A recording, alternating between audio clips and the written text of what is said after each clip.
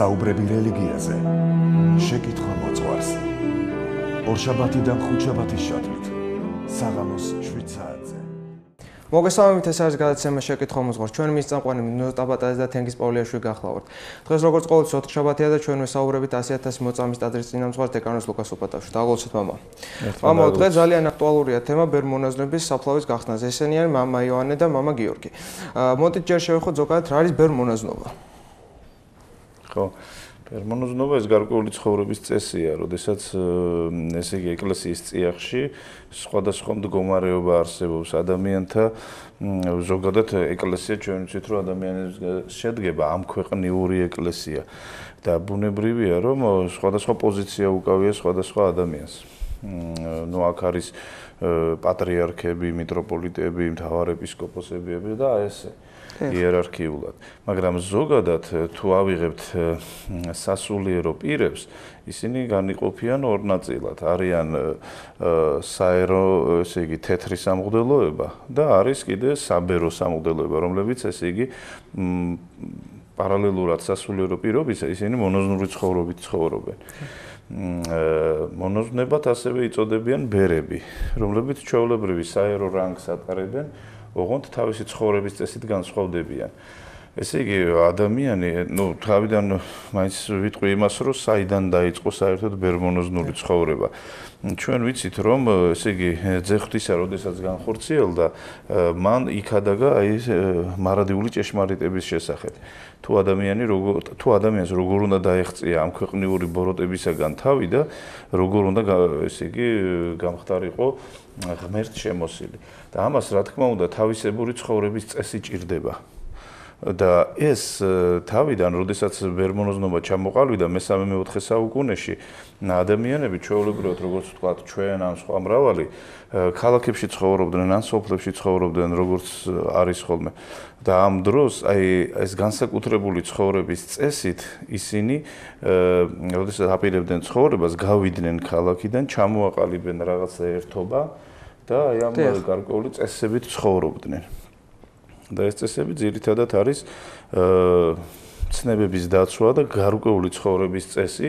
თუ როგორ უნდა იცხოვრო ამ ქვეყანაზე რომ არაფერმა შეგიშალოს ხელი შენი მთავარი მიზნის მიღწევაში. ეს არის ღმერთთან ერთობა და ღმერთის ერთგულება. და აი ბერები სწორედ ამით გამოირჩეოდნენ. ნუ ბერები მონოზნები ნუ საქართველოსი ისე დამკვიდრდა რომ მამაკაცებს ბერებს ეძახიან და მანდილოსნებს მონოზნებს მაგრამ სინამდვილეში მონოზონობა ეს არის ერთი და იგივე.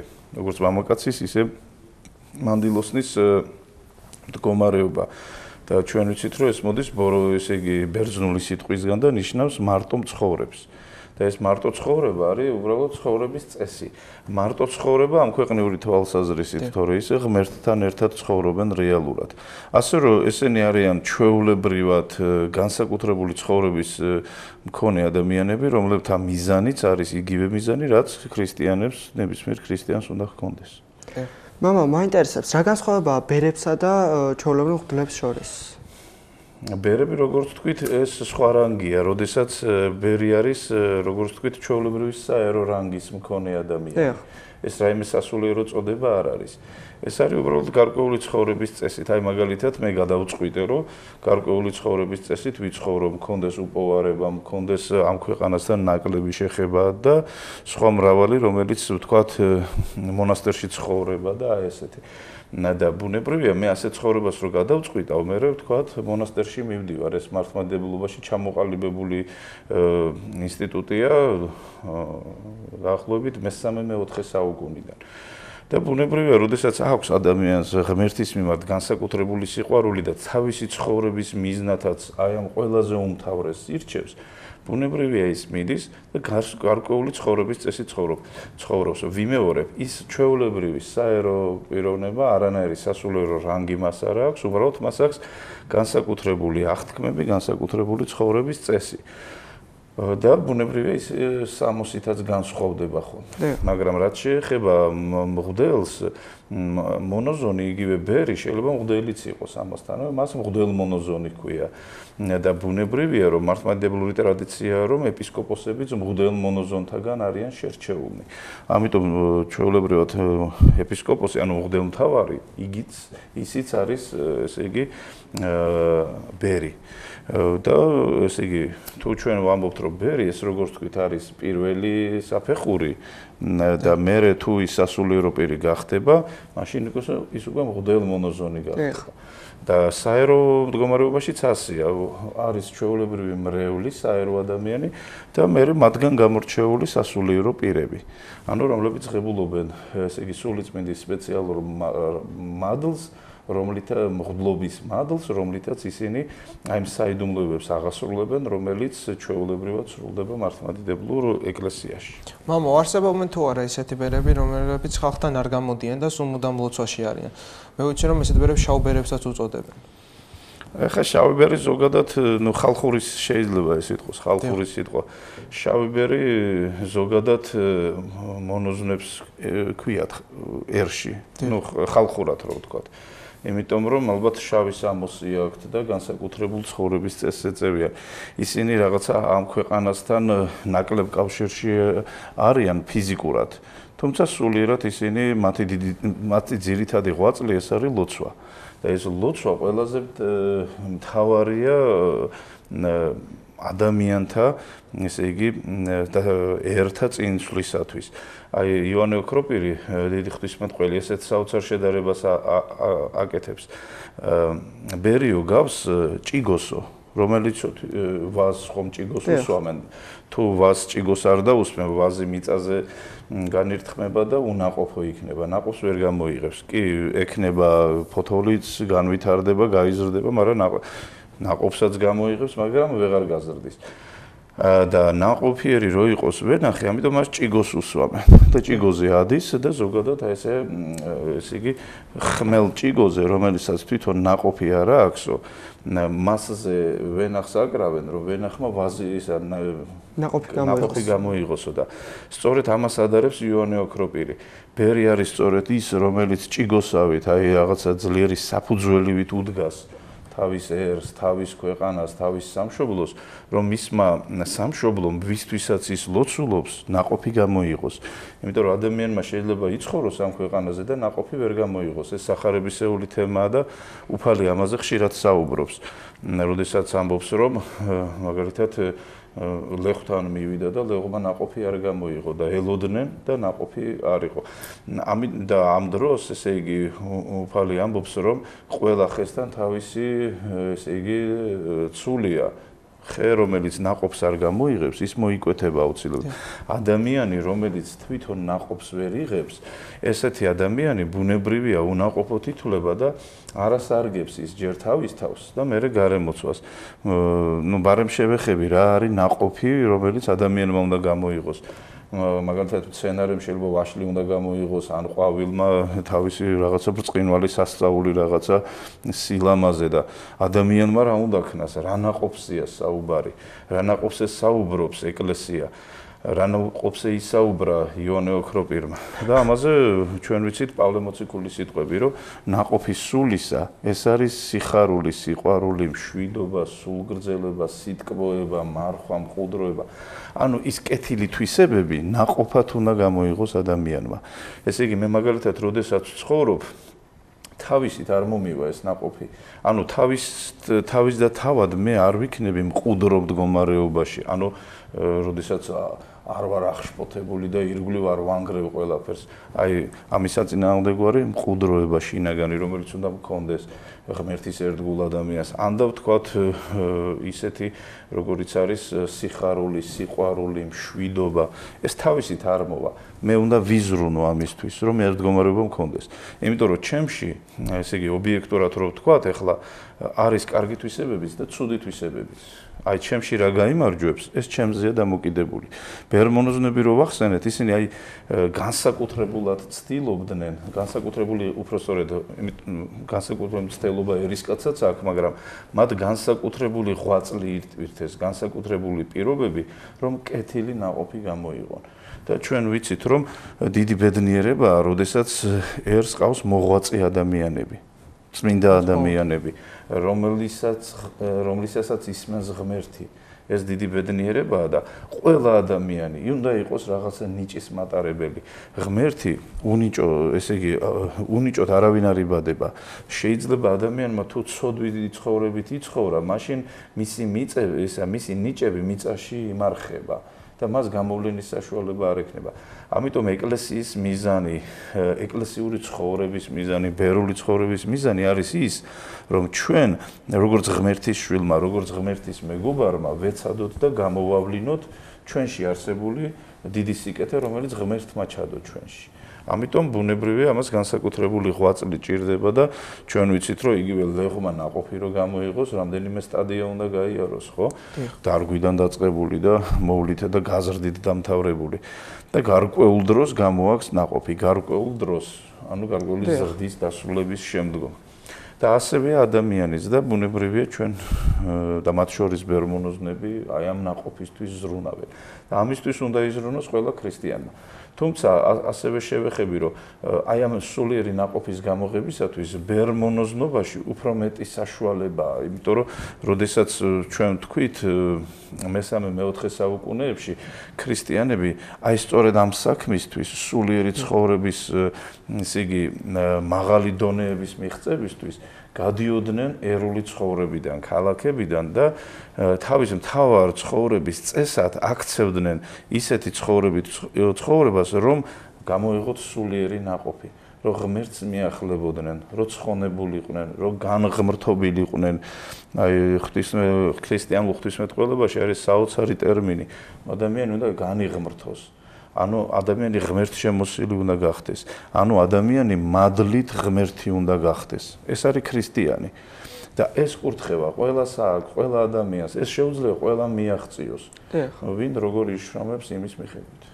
ნუ მაინტერესებს თუ საერო თუ ერისკაცმა უნდა ბერობა.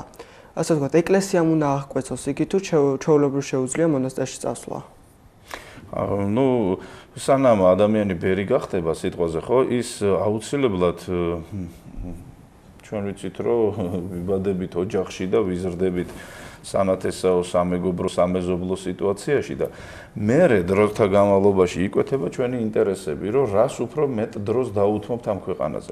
ნუ ახლა თუ ადამიანმა და გადაწყვიტა რომ ღმერთსა და თავის სულიერებას უფრო მეტი დრო დაუთმოს და გადაწყვიტა მონასტრული ცხოვრება, მანამდე ის ბუნებრივია რომ უცებ არ მოუვა ეს აზრი, ხო? ეს რაღაცა ადამიანი უცებ არ დგამს ნაბიჯი, რაღაცა მწიფთება მასში ეს სურვილი და ბუნებრივია რომ პირველ რიგში აუცილებლად ეკლესიაში ივლის ალბათ მოძღვარი ეყოლება, ეზიარება, აღსარება სიტყვის. ანუ პირველ ნაბიჯებს გადადგამს ღმერთისაკენ, მოუსინჯავს გემოს ღმერთთან ურთიერთობას, იხილავს იმ სიკეთეს და სიხარულს, რომელიც მისთვის არის გამზადებული და ბუნებრივია ჩვენთვის.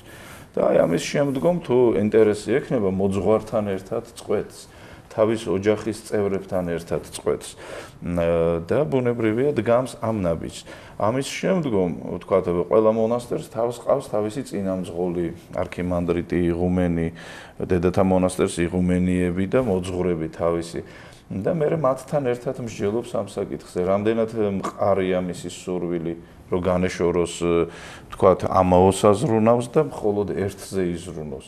და ბუნებრივია მისი ეს გადაწყვეტილება, როდესაც მყარი იქნება, ბუნებრივია, რომ გამოცდილი ადამიანები მას ხელს შეუწყობენ, რომ მან მიაღწიოს უმაღლეს მიზანს, რაც ამ შემთხვევაში მას დასახული აქვს. მამა, მოდით ახლა შევეხოთ დღეს დღეისობით ყველაზე აქტუალურ თემას, მამა ივანესა და მამა გიორგის აფლავების გახსნას. ვინ იყო მამა ივანე და მამა გიორგი? და აი, ნუ ბედნიერი დღე არის, ხვალინდელი დღე, იმიტომ რომ ჩვენ ვეხებით აი ამ დიდ სიწმინდეს, რომელიც აი ძალიან რთულ პერიოდში გამოვლინდა. და მადლობა ღმერთს, რომ საქართველოში აი ერთი წამითაც არ შეწყვეტილა ეკლესიური ცხოვრება. შეიძლება ვთქვათ კომუნისტურ პერიოდში, ათეისტურ პერიოდში უფრო სწორად რომ ვთქვათ, არ იყო ისეთი მრავალი ტაძარი, როგორიც დღეს არის, მაგრამ ეკლესიური ცხოვრება ყოველთვის იყო. საქართველოს მლოცველები ყოველთვის ყავდა და მათ ესე იგი ამ საოცარმა პიროვნებებმა თავისი დიდი სიწმინდე, თავისი დიდი სიყვარული ღმერთის მიმართ გამოავლინეს ძალიან რთულ პერიოდში. იმ პერიოდში, როდესაც ათეიზმი იყო ეს ნორმა და ჩვეულებრივად. და ამ ადამიანებმა ესე იგი ღმერთის სიყვარულით იცხოვრეს. და ბუნებრივია, როდესაც ადამიანს ღმერთი უყვარს, ეს ნიშნავს, რომ მისი ცხოვრებაც შესაბამისია რა და საინტერესოა მათი ცხოვრება, მათი ცხოვრების წესი, თუ როგორ იყვნენ ფიზიკურად შეჭირვებული, მაგრამ სულიერად დიდი მადლისა და დიდი სიხარულის მატარებელნი. საერთოდ ბედნიერებაა, როდესაც ადამიანი ღმერთს გრძნობს და ღვთის მადლით ცხოვრობს ამ ქვეყანაზე. წმინდა სერაფიმე საროველი როგორ ამბობს, რომ შენო ცხონდიო და შენს ირგვლივ მე ათასებს აცხონებო.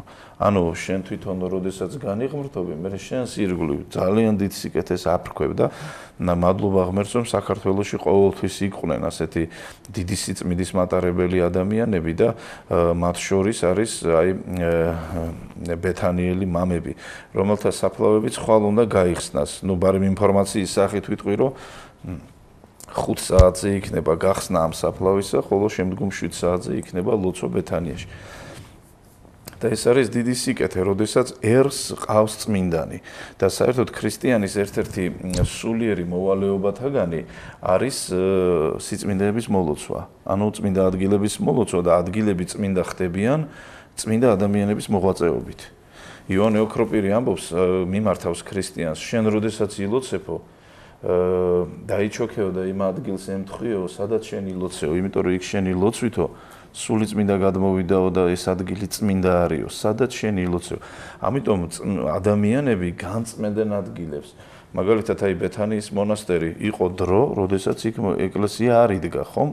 როდესაც თამარ მეფის დროს იქ აშენდა ეს მონასტერი, ეს ეკლესია, ბრწყინვალე და მშვენიერი. იყო დრო, როდესაც იქ არაფერი არ იყო ცალიერი, მინდორი იქნებოდა ალბათ. მაგრამ შემდგომ, როდესაც იქ მრავალმა წმინდანმა იღვაწა, ეს ადგილი განსაკუთრებული წმინდანი გახდა. ამიტომ ქრისტიანთა ერთ-ერთი მოვალეობა სწორედ ეს არის სიწმინდეების მოლოცვა. ეხლა მოვალეობა ისეთი უხეში სიტყვათ არ უნდა აღვიქვათ, რომ ვინმე რაღაცას გვავალებს. არა, ეს ჩვენი სულიერი სიკეთისათვის არის, ასე თქვათ, აუცილებელი, რომ ჩვენ ხანდახან ხშირად ვექცევით რაღაცა ჩაკეტილ წრეში. აი ანუ პრობლემები ისე შეიკრება ჩვენს ირგვლივ, რომ თითქოს ყველა მხრიდან პრობლემა გვაწვება და გამოსავალს ვერ ვერ ხედავთ. და კარგი აი ამ დროს რომ მოილოცო წმინდა ადგილი, განსაკუთრებულად ილოცო, ვთქვათ, წახვიდე რომელიმე წმინდა ადგილზე, სადაც წმინდა ადამიანის ესე იგი ნამოღვაწარია და იქ ილოცო. ფსალმუნები წაიკითხო და უჯდომელით ილოცო და საქართველოში ესეთი ადგილები ძალიან ბევრია, ძალიან ბევრი. ესე იგი გრიგოლ ხანძთელის სიტყვით ვიტყვი, თუ ადამიანი გადაწყვეტს რომ ცხონდეს საქართველოში ამის პირობები, ყველანაირი პირობები არის. ამიტომ მე ვფიქრობ, რომ ეს არის დიდი სიწმინდე, დიდი სიმდიდრე და დიდი სიკეთე, როდესაც ჩვენ ასეთი მოღვაწეები გვყავს.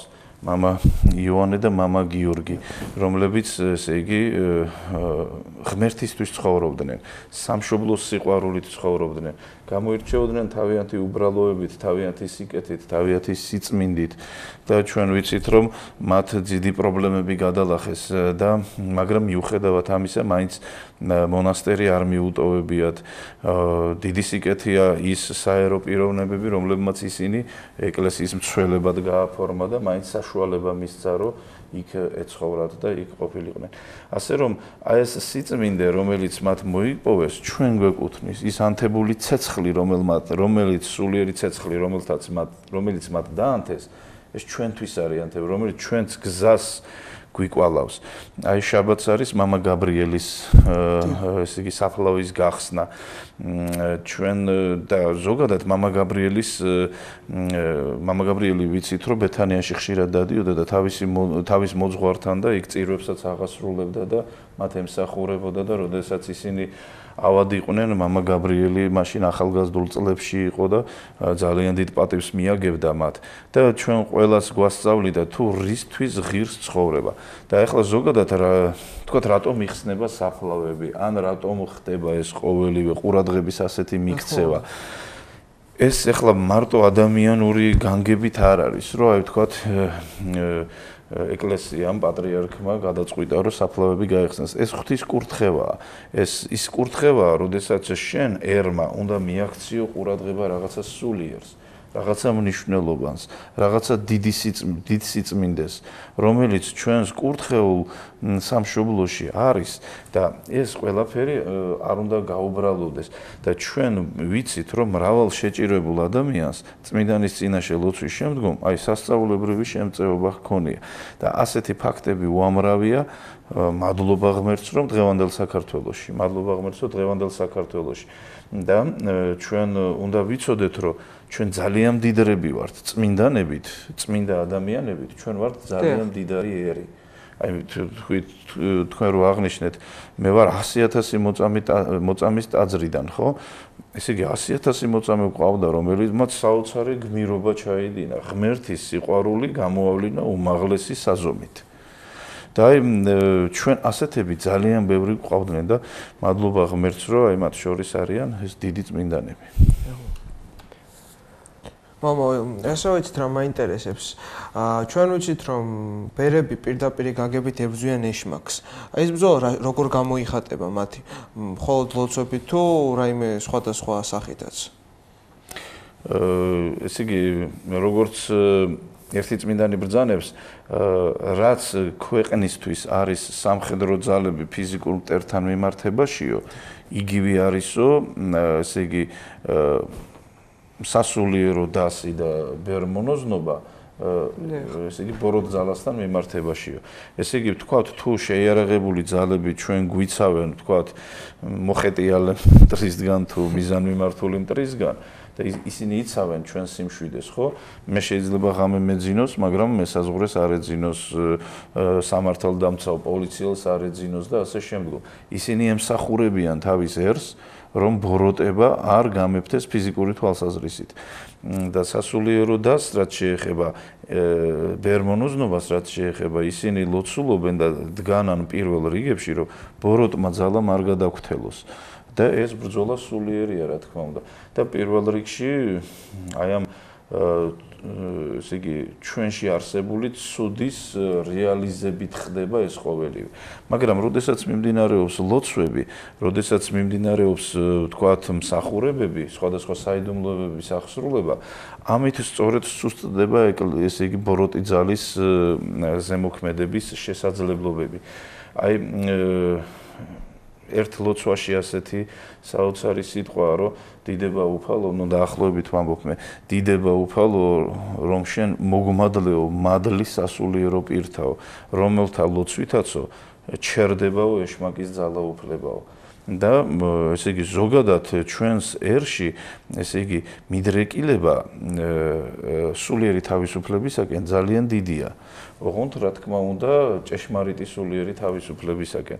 ერთი რამის თქმა მინდა რომ მე ერთხელ ერთ-ერთ სოფელში მოვხდი ერთ-ერთ სუფრაზე და ერთმა ადამიანმა ასეთი სადღეგრძელო თქვა ტალავერის ძირში ვიჯექით. ეს არის ჭობისხევი სოფელი ბორჯომის რაიონში. ესე იგი ერთ-ერთ ტალავერი, ესე იგი ვენახის ტალავერი იყო და აი იქ იყო სუფრა გაშლილი.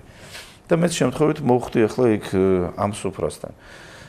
და ერთმა ასეთი სადღეგრძელო თქვა, ჩემ სამშობლოს ვენაცვალეო, რომ ტერმაო როგორ არ ჩეხაო და ვერც ვაზი მოსპო ამ ქვეყანაშიო და ვერც სასულიერო პირებიო. ანუ სასულიერო პირთა ლოცვა იცავს ქვეყანას სულიერი მტერისაგან, ბოროტი ძალისაგან. რომელიც რა თქმა უნდა ცდილობს რომ ადამიანთა ცხოვრების წესი იყოს ისეთი რომელიც იქნება ღთაებრივი წესის საწინააღმდეგო და აი ჩვენ ვიცით რომ მადლობა ღმერთს ჩვენს ერში ყოველთვის იყო სასულიერო პირები ჩვენ ჩვენი ერის შვილები ვართ და ბუნებრივია რომ ჩვენ ყოველთვის ვცდილობთ რომ დავიცვათ ის წესები თუნდაც კულტურულად ქართველებმა რომელიც ქრისტიანულია ამ ქვეყანას. ხო, ეხლა ჩვენ ეთერში რეკლამის დროა, ცოტა ხანში დავბრუნდებით.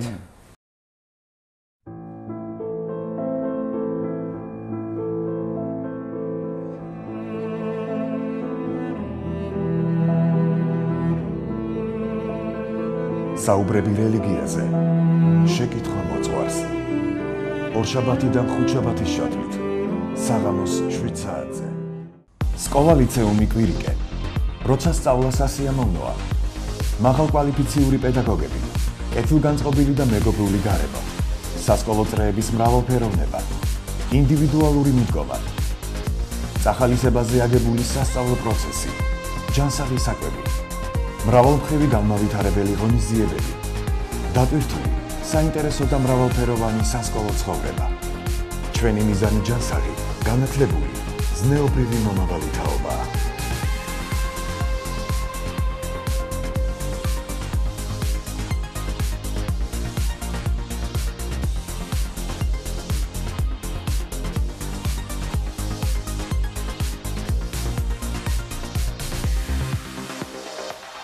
სასწავლო პროცესის ხანგრძლივობა 9 საათიდან 5 საათამდე. ადგილზე მეცადინეობა. ინგლისური და რუსული ენები პირველი კლასიდან. ორჯერადი კვება. ქართული სიმღერებისა და საგალობლების შესწავლა. ჭადრაკი. ქართული ცეკვის გაკვეთილები. მეტყველების გაკვეთილები.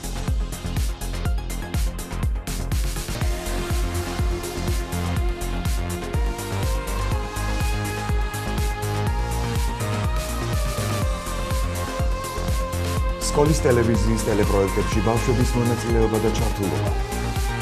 სკოლაში მთელი დღის მანძილზე იმყოფება ექიმი. ბავშვის განვითარებაზე ზრუნავს სკოლის ფსიქოლოგი. სკოლა ლიცეუმი კვირიკე.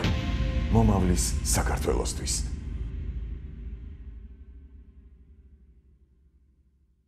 მოგესალმებით. თქვენ უყურებთ გადაცემას სტუმრად ქართულზე ჩვენი მისი წამყვანები. മറിയം ചിക്കോണി ടൊബാക്കോ പറ്റിയ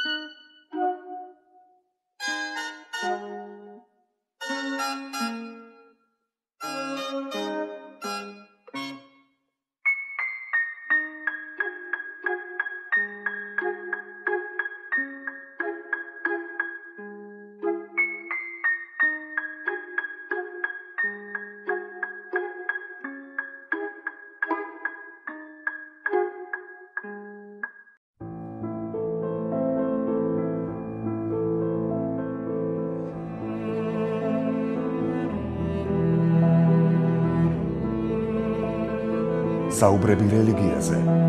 შეკითხვა მოწყვარს. ორშაბათიდან ხუთშაბათის შაბათით. საღამოს 7 საათზე. ჩვენ დავბრუნდით პირდაპირ ეთერში და ნუზო პირველი კითხვით გადადი მამაოსთან.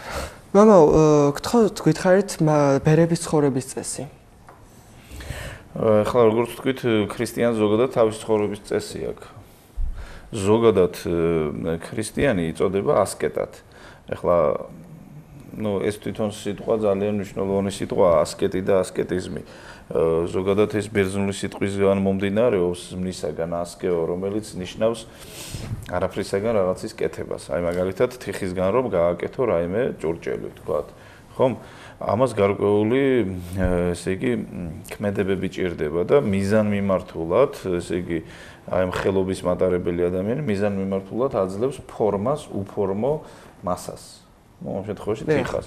ასევე და ეს შედარებაა დაახლოებით მოტანილი ქრისტიანობაში, რომ ასკეტად იწოდება ის ადამიანი, რომელიც თავის პიროვნებას, თავის თავს აძლევს რაღაცა ფორმას. წინასწარ განზრახულ ფორმას. თქვათ, ну, ამ შემთხვევაში ეს არის ესე იგი, ისეთი ცხოვრების წესი, რომელსაც გამორიცხულია ცოდვა და ცოდვის მოყარეობა, ცნების დარღვევა და ასე შემდგომ. ესე იგი, ყველაფერს აკეთებს ადამიანი იმისათვის, რომ მიაღწიოს მთავარ მიზანს. ანუ ასკეტი ბერბერულ ცხოვრებაში ძირითადად ეს არის. და ბერის ძირითად შინაგან ხვაწლად სწორედ ეს ითვლება, რომ ასკეტი უნდა იყოს ის. ისევე როგორც ქრისტიანი. მე როდესაც ვარ ქრისტიანი, ნიშნავს, რომ მე უნდა მქონდეს გარკვეული, ესე იგი ცხოვრების წესი. აა მაგალითად კვირადილას თუ მე წირვაზე უნდა მივიდე და უნდა ვეზიარო თქვათ და მე თუ იმ ღამეს იმ წინა საღამოს ანუ შაბათს გვიან დავიძინებ ხომ გარკვეულწილად ხელი შემეშლება ამაში. ანუ მე ვცდილობ რომ რაღაცა ისეთი წესები დავამკვიდრო ჩემს ცხოვრებაში, რომელიც ხელს შემიწყობს ღმერთთან მიახლო მიახლებაში და მიახლოებაში. და ბუნებრივია ხა ბერმონოზონთა ცხოვრების შემთხვევაში ეს მკაფიოდ ჩანს. იმიტომ რომ მათ ეს შეძლეს მაშინაც კი, როდესაც თითქოს ეს შეუძლებელი იყო. აი ვთქვათ ბეთანიელი ბერების იონესა და გიორგის შემთხვევაში, ან და გაბრიელ ბერის შემთხვევაში მათ ცხოვრებას რომ ვეცნობით, შეიძლება გაგვიჩნდეს აზრი, მე რომ ყოფილიყავი იმ დროს იგივე იგივეს მსგავს შევძლებდი და ჩვენ ვიცით რომ ასეთ შემთხვევაში იმ დროს ეკლესიურად ცხოვრები ადამიანები ძალიან ცოტანი იყვნენ. თუმცა ასკეტები, ასკეტები ჩვენს ერს ყოველთვის ყავდა და ასეთი პიროვნებები ბევრნი იყვნენ. ზოგადად თუ შევეხებით აი ასკეტურ თვისებებს, ნებისმიერ პროფესიაში წარმატების მიღწევის მსურველს უნდა ჰქონდეს ასკეტური თვისებები. მაგალითად, ვიცნობ ერთ ოპერის მომღერალს, რომელსაც საოცარი ცხოვრების განრიგი აქვს. რა ჭამოს, რა სვას, როდის დაიძინოს, როდის ფეხბურთ სპორტსმენი რო ავიღოთ, მეცნიერი ავიღოთ, აი ნებისმიერი წარმოების მქონე ბიზნესმენი ავიღოთ, იმათ აქვს თავის ცხოვრების წესი. რა ისეთ რამეს არაკეთებენ, რაც თავიანთ ცხოვრებაში, ცხოვრების წესში ხელს შეუსრულს. ანუ თავიანთი ცხოვრების მიზნის მიღწევაში რაც ხელს უშლის, იმას იშორებენ და გარკვეულ რეჟიმს ადგენენ თავიანთ ცხოვრებაში. პატრიარქი ბოლო დროს ძალიან ხშირად საუბრობს ამაზე, რომ ჩვენ უნდა გქონდეს ჩვენი ცხოვრების წესი, წესი და რიტმი. თუ წესი არ გვექნება, მაშინ ვიქნებით უწესო. და ქართველებში ეს სიტყვა უწესო იყო ერთ-ერთი საგინებელი. ანუ თუ ვიტყოდით რომ ამა თუ იმ ადამიანზე რომ ეს უწესოა, ნიშნავს რომ ასეთ ადამიანს ნდობა ცოტა საშიში იყო. ეხლა მაგალითად როგორ არის? ეხლა შეიძლება ერთი ადამიანი მეორეს აგინებდეს, მაგრამ რატო აგინებს? შეიძლება ეს ვერ დააკონკრეტოს. მაგრამ ძველად ქართველი იტყოდა რომ ეს არის უწესო ადამიანი. უღმერთო ადამიანი, უსჯულო ადამიანი, უნამუსო ადამიანი. ანუ ზუსტ დასკვნას აკეთებდა და ზუსტ ცოდნას გაწევდიდა, რომ კი არ აგინებდა იმ ადამიანს, უბრალოდ ამბობდა, რომ ეს ესეთია. და ეხლა ჩვენ ბერების ცხოვრების წესზე ვსაუბრობთ და წესი ზოგადად ყველაფერში საჭიროა. აა ნებისმიერ პროფესიაში, ნებისმიერ საქმეში, აი ყველგან სკოლიდან, ბაღიდან დაწყებული და რაღაცა დიდი მიზნებით დამთავრებული. და აი ბუნებრივია რომ პატრიარქი როდესაც ამას საუბრობს, ჩვენ და აუცილებლად შეუძლებელია ქრისტიანმა რაიმეს მიაღწიოს, თუ მას წესები არ ექნება. შეუძლებელია რომ რაიმე პროფესიაში წარმატებას მიაღწიო, თუ შენი წესები არ გექნა აი ამ მიზნის მიღწევისა. ამიტომ ვთქვათ ამ შემთხვევაში ბერები, ვთქვათ ეს წმინდა ბერები, რომლებსაც ჩვენ ვიხსენიებთ იოანე, გიორგი და გაბრიელ ბერი, არიან აი რაღაც აი ნათელი მაგალითი იმისა, როგორ უნდა მიაღწიო, როგორ უნდა მიხვიდე ღმერთამდე, როგორ უნდა დაძლიო გადაცავთ მომავალ ზარი არის პირდაპირ ეთერში. ხო. გისმენთ, თქვენ პირდაპირ ეთერში ხართ. გისმენთ ის გის გისმენთ. ახამდე არის. არის სამასიცო შემოუშვა. გაითიშა. სამწუხაროდ გაითიშა ზარი და გაგზავნეთ მომავალ შეიძლება. ხო, ცოტა ძნელია ახლა გაგრძელება, მაგრამ ვეცდები რომ ის ეს ცეცხლივითაა, როცა რაღაცას ამბობ. ის თუ გაანახევრიან ჩააქრე ძნელი ახლდან ანთები. და ესე იგი შენ ცხოვრებაში უნდა ეცადო რომ ესე იგი ამ შენმა კარგმა თვისებებმა ცხოვრების წესიდან გამომდინარე გადაწონოს ეს შენი ცუდი. და ბუნებრივია რომ შენ უნდა შეძლო ამის გაკეთება ცხოვრების მანძილზე და ეს წესები უნდა დადგინდეს ჩვენს ცხოვრებაში და აი პატრიარქიც ამისკენ მოგვიწოდებს. აი ახლა მაგალითად სანამ ეთერი იქნებოდა ჩვენი მრევლი მესაუბრა გერმანიიდან, სადაც არის სასწავლად წასული. ის ესე იგი ქირურგიას ეუფლება და იქ დაახლოებით 2 წელიწადი უნდა ისწავლოს. და ესეთ რამეს აი საოცარი მშრომელი ხალხი არის, აი საოცარი წესები აქვს. როდის უნდა დაიძინოს, როდის უნდა გაიღო, როდის რა უნდა გააკეთოს და ყველაფერი დაალაგებული აქვს თითქოს თავის ცხოვრებაში. ესე იგი, რაღაცის მიღწევა, როდესაც გინდა, აუცილებლად უნდა დაალაგო, განაწესო ყოველივე, ტიპიკონი შექმნა, ну, ერულად რო ვთქვა, დღის რეჟიმი შეიქმნა ყოველთვის. და ბუნებრივია ეს წესები უნდა შემოიღო. მაგრამ ბერმონოზნობის შემთხვევაში მთავარი წესი ეს არის ღმერთის მცნებების დაცვა და ამას ემსახურებიან ისინი მთლიანად. და ბუნებრივია რომ აქედან გამომდინარე ცხოვრების წესი მათი არის მისაბაძი. მისაბაძი გამომდინარე იქედან რომ მათ ესე იგი სულიწმინდის მადლი მიიღეს. აი ძველად ქართველებს კიდე ერთი საოცარი სიტყვა გქონდა.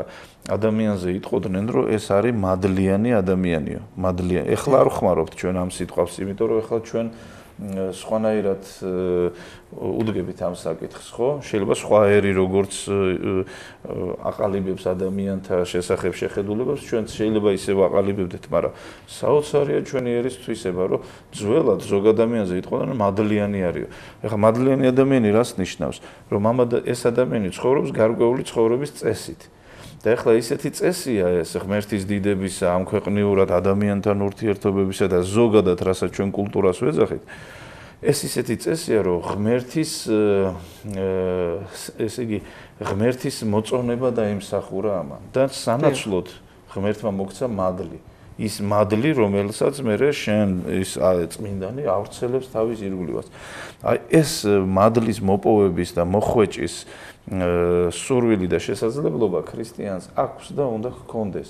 და ბუნებრივია აი ამ წმინდანებმა ასეთ ურთულეს პერიოდში შეძლეს ეს ყოველივე და მათი ცხოვრება ჩვენთვის საორიენტაციოა. ისედაც ზოგადად როდესაც ადამიანს აქვს სურვილი ქრისტიანობისა, ჩვენ პირველ რიგში ურჩევთ, რომ იკითხონ და ბევრი უნდა ვიკითხოთ წმინდანთა ცხოვრება. ოღონდ იმ ნიშნით რა რა შეძლო ამ ადამიანმა, როგორ შეძლო ამ ადამიანმა ღმერთის დიდება, ღმერთისთვის კაი გაგებით ვიტყვი თავის მოწონება როგორ შეძლო ამ ადამიანმა რომ აი იმ ცხოვრების პარალელურად რასაც ქვია ცოდვილი და დაცემული ყოფა ამის პარალელურად შეძლო და არ დაეცა ცოდვით და გახდა მადლიანი. ანუ გახდა წმინდანი. მამა ზოგი ამბობს რომ ბერები უნდა ემსახურებოდეს ქვეყანას რათა არ ჭამამპური და რითი უნდა დაეხმარონ ისინი მსოფლიოსო. ცოტა ისეთი კითხვა არა თუ შეგიძლიათ ამაზე რომ პასუხი გავგცეთ ეხ ძალიან კარგი არის უბრალოდ მახსენდება გაბრიელ გრიგოლ ხანძთელის ცხოვრება. როდესაც იქ ესე იგი მთავარი მიბრძანდება, მეფე მიბრძანდება და ასეთ რამეს ეუბნება გრიგოლს, რომ თქვენთან არის სულიერი სიკეთეო და ჩვენთან არის ფიზიკური, მატერიალური სიკეთეო და ეს ერთად შევაჯეროთო და აქედან გამოდის ძალიან დიდი სიკეთე. და ზოგადად ეხლა ერის ადამიანი ზოგადად მატერიალურ სიკეთეს აგროვებს, ხომ? კულტურას ქმნის და ამ დროს რას აკეთებს საერო და ესე იგი მონოზნები, ბერები, სასულიერო პირები ისინი ქმნიან სულიერ სიკეთეს. ანუ იმ არხს ჭრიან, რომელიც ღმერთთან აკავშირებს ადამიანს. ღმერთს აკავშირებს ადამიანთან და ადამიანს ღმერთთან, უფრო ადამიანს ღმერთთან. იმიტომ რომ პრობლემები ჩვენ გვაქვს, ჩვენგან კავშირი უნდა მოხდეს მასთან. და როდესაც ესე იგი ერის ცხოვრებაზეა საუბარი, ერმა უნდა შეძლოს საერო და სასულიერო სიკეთეების ერთმანეთთან შეჯერება, იმიტომ რომ ყველა ადამიანს თავისი ნიჭი აქვს მიცემული. ზოგს აქვს ნიჭი მიწათმოქმედებისა, ზოგს აქვს ნიჭი სამართალდამცველობისა, პოლიციელობისა, ეს არის ღვთიური ნიჭი, ამაზე პავლე მოციქული საუბრობს. რომ ისინი არიან ბოროტების წინაშე მდგომნი, რომლებიც აჩერებენ ბოროტებას, რომ სიკეთე მიარსებოს. აი ეს საოცარი ნიჭია, ხო, რომელიც უნდა განავითაროს თითოეულმა მათგანმა. იგივე უნდა გააკეთოს ნებისმიერი, აი ექიმა შენი ჯანმრთელობა უნდა დაიცვას, პედაგოგმა ცოდნა უნდა მოგანიჭოს, ხო?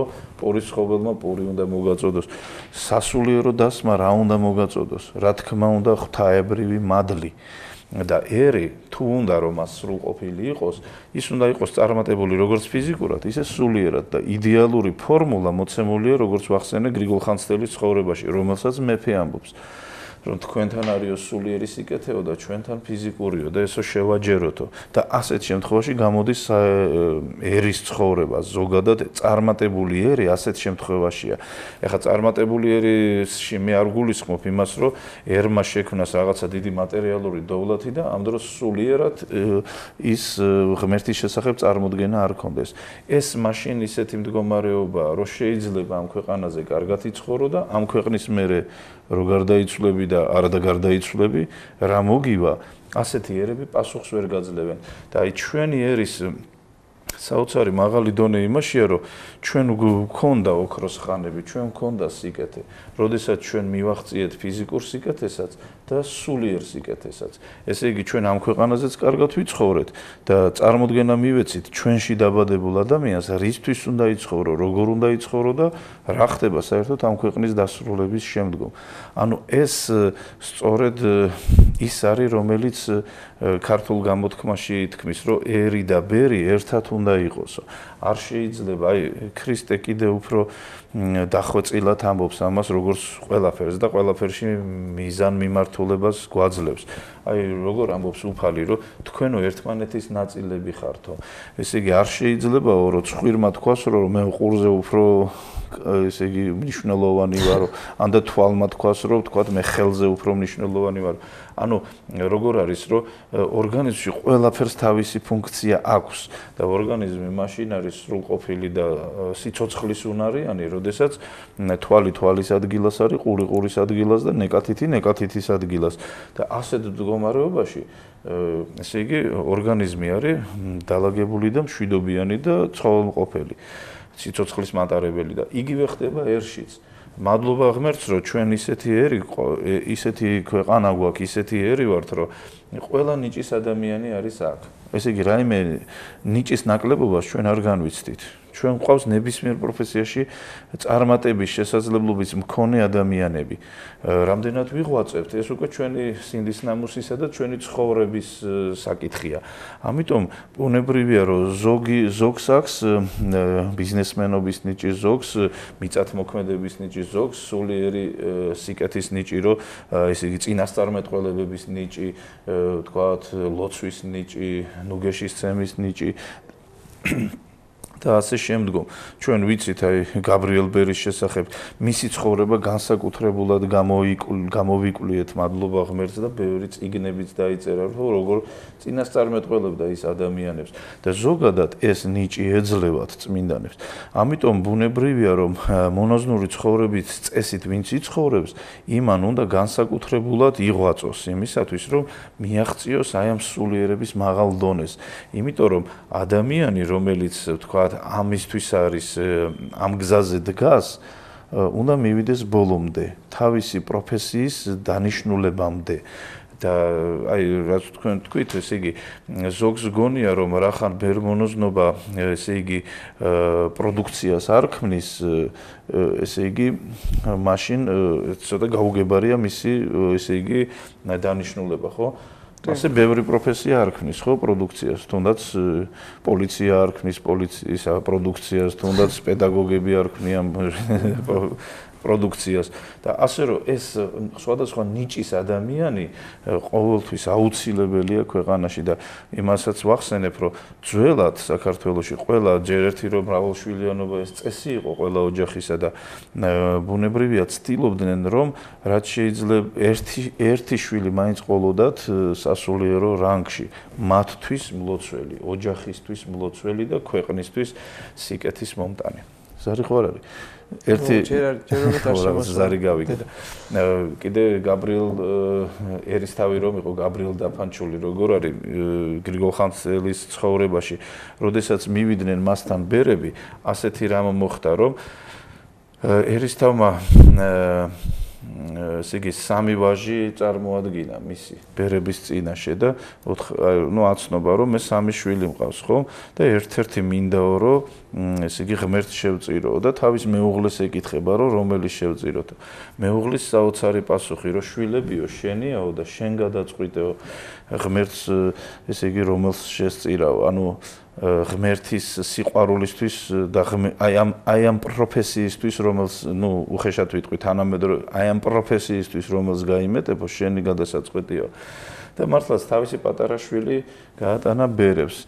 პატარა შვილი რომელიც შემდგომში გახდა კათალიკოსი. და ეს საოცარია ხო? როგორი კურთხევა მიიღო? მამას ეს რო არ მოენდომებინა საქართველოს მოაკლდებოდა ერთ-ერთი დიდი მოღვაწე და ზოგადად მე მახსოვს ერთხელ ჩვენი ერთ-ერთი მოხდელმთავარი საუბრობდა ჟურნალისტებთან და იქ იყო საუბარი ეკლესიის პრობლემაზე და მე უფემ საოცარი სიტყვა თქვა რა ვქნათო ჩვენ ეხლა სასულიერო პირები ანგელოზები არა ვართო ეხლა რო თქვათ იმ ქვეყნიდან ამ ქვეყნად მარაგდებოდეს ესე იგი სასულიერო დასი იფსებოდეს ანგელოზთა საშუალებით ხო? არც ის არის რომ სადმე თქვათ რაღაცა მეთოდით ხდებოდეს სასულიერო რანგის შევსება, ხო? ეს არის თქვენი ოჯახის შვილებიო. აუცილებლად შენი ოჯახის ესე იგი საზრუნავიც უნდა იყოს. როგორი იქნება შენი ქვეყანა? თუნდაც როგორი იქნებიან სასულიერო პირები, თუნდაც როგორი იქნებიან ესე იგი როგორი პატიოსანი იქნებიან ამა თუ იმ საქმეში, სადაც ისინი შევლენ, რა პროფესიასაც ისინი აირჩევენ. ერთხელ მახსოვს, ერთხელ ერთ-ერთ სოფელში ვიყავით სტუმრად და იქ ასეთ რამეს მეუბნებიან, რომ აი მამაო, ტაძარი ავაშენეთო, ყველა კეთილ მოვაწყვეთო, ყველანაირად სავსე არისო, გამართული არისო და რა გახდაო, რომ ერთი სასულიერო პირი მოავლინოთო საპატრიარქოდანო, რომ აი აქო წირვა ჩაატაროსო და საერთოდ სოფელს მოემსახუროსო და მე მანამდე ამ ამ სოფლის წესჩვეულებ ნუ ცოტა ახლოს ვიყავი მათთან და ვიცოდი რომ ზოგი მომავალ პროკურორად ამზადებდა შვილს, ზოგი სპორტსმენად, ზოგი იურისტად და ზარი არის ეთერში. აგა. დიახ, ის მენ პირდაპირ ეთერში ხარ. გამარჯობა, ერთი შეკითხვა მაქვს მამაოსთან. დიახ. ა მამაო, ამ ილიამეო ჩვენი პატრიარქი რომ მართლაც მართულებს და თუ შეიძლება მოხდეს ისეთი რამ, რომ ერთმანეთში დაქორწინდნენ ესენი. თუ არის სასწრებული ეს? როგორ? კიდევ ერთხელ გაიმეორე თუ შეიძლება კითხვა არის მის კარგად. აა ნათლულებს რო ნაცვალ. თუ შეიძლება მოხდეს ისე, რომ ერთმანეთში დაქორწინდნენ მისი ნათლულები. კი ამ საკითხზე მე პასუხს ვერ გაგცემთ, მაგრამ მე რამდენადაც ვიცი, ესე იგი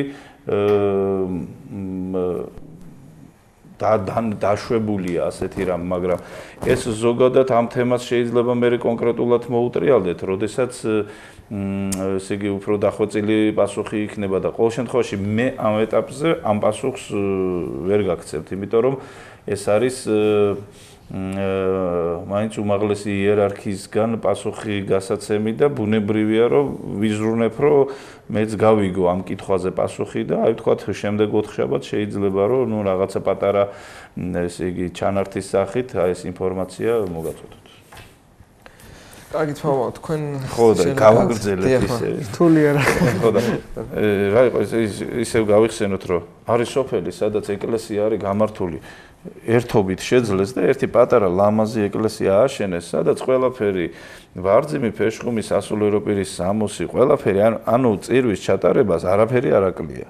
გარდა სასულიერო პირისა და ითხოვენ რომ თქვა რა თან ესე ესე მთხოვდნენ რომ რა გახდაო რომ ერთი სასულიერო პირიო გამოუშვათო აქეთო და ეხლა ჯერ ჩემი გადასაწყვეტი ხო არისო, მაგრამ უბრალოდ მე რეალობას შევხედე იქ, რომ ზოგი პროკურორად ამზადებდა შვილს, ზოგი ვთქვათ სპორტსმენად, სპორტსმენად, ზოგი იურისტად, ზოგი, ну, რა ვიცი, სხვა პროფესიები ბევრია, როგორიც არის ვთქვათ, ხო ეს მენეჯმენტი და კიდე პროფესიებს რა დარწმუნდა ხო და მე ვთხარი ახლა ასეთ ბევრ პროფესიებში რო ამზადებთ ადამიანს რომ ის დაიკავოს მათ მომავალში ის დაიკავონ მათ მომავალში აი რატო არ ფიქრობს ვინმე რომ აი ვთქვათ გახდეს სასულიერო პირი რომელიმე მისი შვილთაგანი და ძველად ეს წესი იყო და ნორმა იყო. იმიტომ რომ თუ შენ აი ღმერთი რომელსაც აირჩევდა ანუ რომელიც განსაკუთრებულად მიდრეკილი იყო ამისკენ ხო ის აუცილებლად მას ხელს უწყობდნენ რომ ის ყოფილიყო სრულყოფილად ესე იგი დაუფლებოდა ამ პროფესიას და ეკლესიის კეთილი სინდის ნამუსიანი და პატიოსანი ესე იგი მოძღვარი ჩამოყალიბებულიყო. და ეს პირველ რიგში ოჯახმა უნდა გადაწყვიტოს და ეს ოჯახის პრობლემაა. უძველად ქართველებს კიდე ერთი ხო საოცარი ის ჰქონდა რომ კარგ ადამიანზე ვამბობდით, კარგი ოჯახის შვილიაო. კარგ ოჯახში აუცილებლად კარგი შვილი იზრდება, იმიტომ რომ გულისხმიერ და გონიერდედ მამას არ გამოეპარება შვილის ცუდი თვისებები. და ჩემი ოჯახიდან ახლა როცა გამოდის ბავშვი და საზოგადოებაში შედის, მე ვარ პასუხისგებელი, რომ მას ცუდი თვისებები არ გაყვეს ოჯახის კარებს გარეთ და ვინმე არ შეაწუხოს, ვიღაცას მახი არ დაუგოს და ასე შემდგომ. და რასაც თვითონ აირჩევს პროფესიად, ხომ? რა თქმა უნდა, მეც უნდა მივეხ ვეხმარო ამაში და ღვთის კურთხევა უნდა შევასრულო და ვისაც რა ნიჭი გვაქვს იმ ნიჭის მიხედვით გავაგრძელოთ ჩვენი ცხოვრება და მსახურება. ასეთ შემთხვევაში ბუნებრივია რომ ეკლესიაც ღირსეულ კანდიდატებს მიიღებს ოჯახებიდან მომზადებულს. პოლიციაც, მეომრებიც, ექიმებიც, პედაგოგებიც, მიწათმოქმედებიც, მეზღვაურებიც თუ რა ნებისმიერი მიმართულებით. ამიტომ ოჯახი უნდა იყოს ამაზე პასუხისგებელი. მე აი და მე უფე ეს მე უფე ეს თქვა მაშინ ერთ-ერთი კონფერენცია იყო თუ პრესკონფერენცია აღარ მახსოვს. რომ ოჯახებმა უნდა იზრუნონ ეკლესიის კეთილ ეკლესია რო კარგი ადამიანებით მომარაგდნენო და ჩვენ რაც შეგვეხებაო თითეული ადამიანი ვიდრე სასულიერო პირი გახდა ან ვიდრე ბერი გახდებოდა მან ძალიან დიდი წინააღმდეგობები გადალახა. ნუ შეიძლება გაბრიელ ბერის ცხოვრებაც გავიხსენოთ და ესეთი მრავალი ადამიანის და მათ შორის თანამედროვე სასულიერო პირების. მადლობთ მომო გაიხარ ჩვენი დღევანდელი გადაცემა დასასრულს მივახლო და კარგად ბრძანდებოდეთ კარგად ბრძანდებოდეთ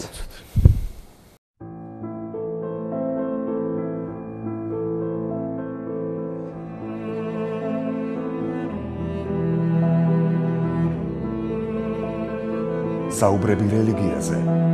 შეკითხვა მოწყვარს. ორშაბათიდან ხუთშაბათის შაბათით. საღამოს 7 საათზე.